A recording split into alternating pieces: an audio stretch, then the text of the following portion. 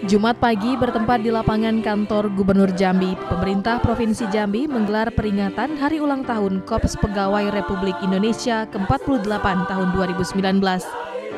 Peringatan ditandai dengan upacara bendera. Yang bertindak menjadi inspektur upacara ialah Sekda Provinsi Jambi Dianto. Pada kesempatan ini, Sekda membacakan sambutan Presiden Republik Indonesia Joko Widodo. Dalam sambutannya, Presiden RI menegaskan ke depan untuk eselon 3 dan 4 kemungkinan besar akan dihapus.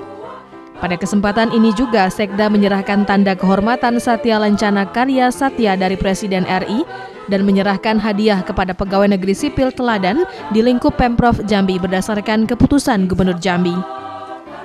Sekda Provinsi Jambi Dianto mengatakan berdasarkan sambutan Presiden yang akan memangkas eselon 3 dan 4, saat ini dirinya belum mengetahui apakah pemangkasan juga akan berlaku di pemerintah Provinsi Jambi. Dirinya menambahkan intinya yang disampaikan Presiden pada sambutan ini ialah menginginkan kerja yang cepat dalam melayani masyarakat.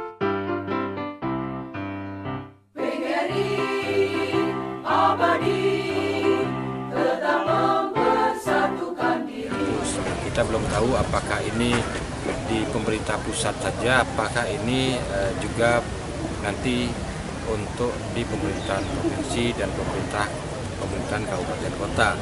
Intinya kalau sesuai tadi sambutan yang saya sampaikan pesan Pak Presiden bahwa beliau menginginkan kerja yang lebih cepat dalam melayani masyarakat di uh, negeri ini. Azam Azmi, Jambi TV.